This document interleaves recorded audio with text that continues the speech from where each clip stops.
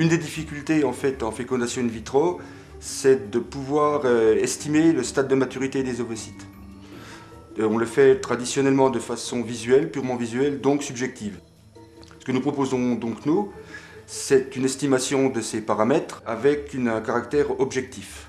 Donc pour cela, une des solutions est d'analyser le spectre de transmission des ovocytes, le spectre optique de transmission des ovocytes, afin de pouvoir relier éventuellement ce spectre de transmission au degré de maturité des ovocytes, c'est-à-dire mature ou pas mature.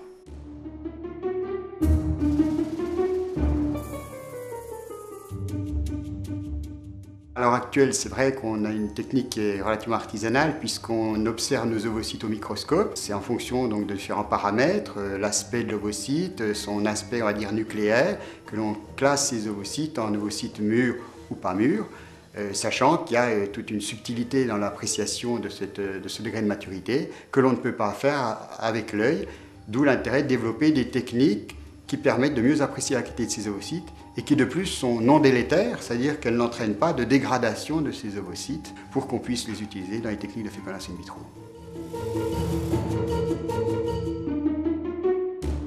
Il y a eu une création dernièrement d'un groupement d'intérêt scientifique entre l'IFR 133, qui est l'IFR médecine en fait, euh, FemtoST et le laboratoire d'informatique de Franche-Comté. Donc dans ce cadre-là, il y a de plus en plus de, recherches pluridisciplinaires qui sont menées, comme celle-ci par exemple, qui associe le CHU, l'IFR et FemtoST.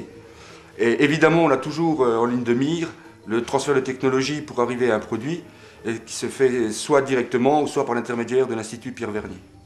L'intérêt majeur, c'est essentiellement la présence d'une industrie forte dans le domaine des microtechniques, que nous utilisons beaucoup dans nos programmes de recherche. Nous présentons en tout cas nos programmes systématiquement au pôle des microtechniques, afin d'obtenir une labellisation qui nous donne manifestement un plus pour la présentation de nos projets au niveau des grandes agences de financement national.